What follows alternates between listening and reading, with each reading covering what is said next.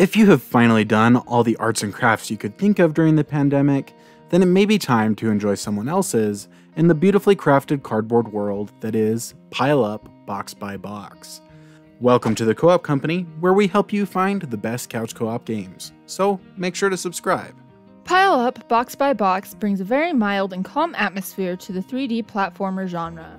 There's not a whole lot going on here, and that's a good thing, leaving this game as a relaxing time to enjoy solo or with friends. The game contains a short tutorial and four different levels that consist of light platforming with a larger emphasis on solving puzzles using the various items found in the maps. The basic concept of the game is to use boxes to solve puzzles by pressing buttons, creating steps, and various other creative uses. Where it gets interesting is in the variety of boxes you are given to accomplish the tasks. For example, you may need to use TNT to clear the path, while at other times you will need to use it to depress a button and quickly complete a platforming challenge before it explodes. In other situations, you will use a sticky block to grab faraway items, or as a sort of grappling hook to leap across chasms.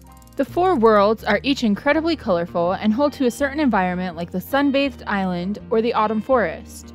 The game is made up of cardboard and paper, and this exquisite art style is reminiscent of games like Paper Mario, Yoshi's Crafted World, and Sackboy A Big Adventure. While the levels are each vibrant, they are mostly devoid of inhabitants, with only a few characters placed for quests, and no enemies to fight. While the lack of enemies is not an issue for a laid back platformer like this one, the colorful worlds did feel a little abandoned as we explored them. Pile Up is intended to be very forgiving and lets you experience each of its cardboard pieces in bite-sized amounts. Each little area is sectioned off with an exit that all players are required to leave through at the same time. These gates were nice and solo, however, when playing with friends, there was often a couple of seconds trying to get in the correct spot to pass through. As you explore each of the four levels, you will stumble across a variety of collectibles, such as the currency used to buy skins, special items used to unlock secret locations, arcade games that are playable in the hub world, and stopwatch pieces used to unlock the speedrun mode. When it comes to playing with friends, the game has a couple of enjoyable additions. For example, if the going gets tough and your spouse or child just cannot complete the platforming sections, you can carry them on top of yourself to help them through.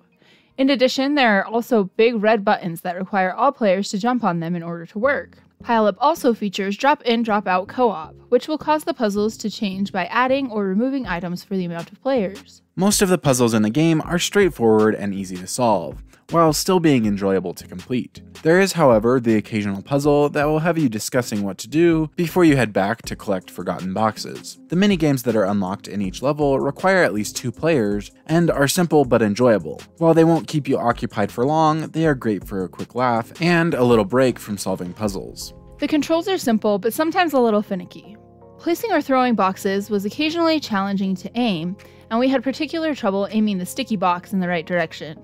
We also found ourselves accidentally carrying one another on several different occasions. Even with those little inconveniences, we still enjoyed the game and loved how smoothly our boxes glided across the ground. Each level will take somewhere around 45 minutes to complete, depending on how well you are able to solve the puzzles and how much you like collectibles. An average play session seems to be around 4 hours. If you collect all of the timepieces throughout the game, you will unlock the speedrun mode, which seems to be the main incentive for replaying.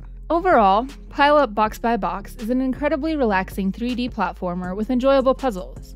We loved the game's cardboard worlds and enjoyed being able to customize our characters.